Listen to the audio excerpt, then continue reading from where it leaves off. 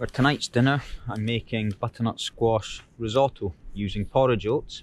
And I've got some butter, some chopped shallots. Onion would work just the same, but shallots is easier when you're cooking for one. It's better, better quantity. I've got half a butternut squash, which I'm going to dice. And then I'll just fry those off. Start adding new things in.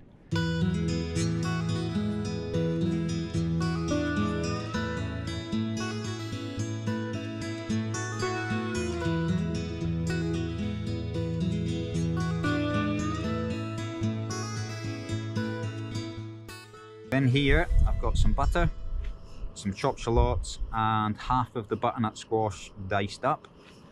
And I'm just going to put this on now to cook and soften them through.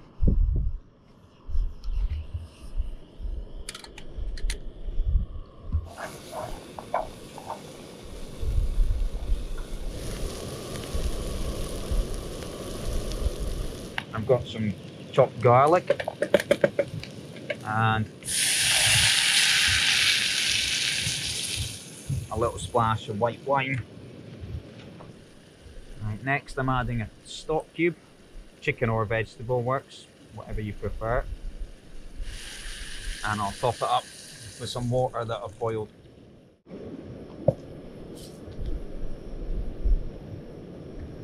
And now I'm going to add a few handfuls of the pinhead oats, which I'm treating just like rice.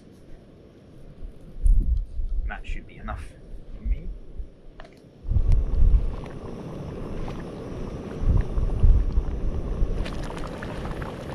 Right, that's been simmering away for about 10 minutes now, so I'm going to put in some lime juice, just half a lime.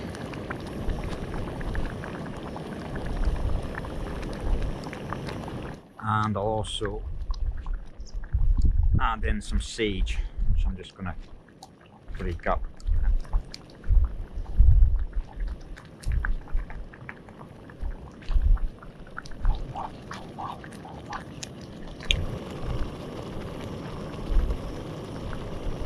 I'm just going to add in some of the Italian cheese.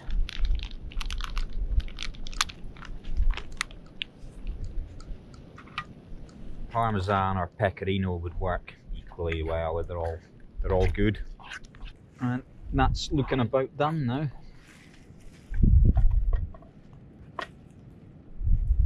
And now let's see how it tastes.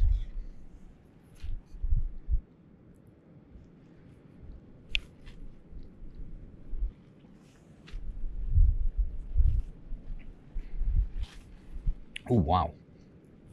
Oh that really works well. That sage and butternut squash is lovely.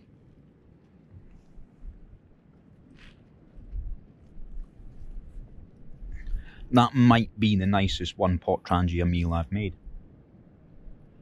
I like that.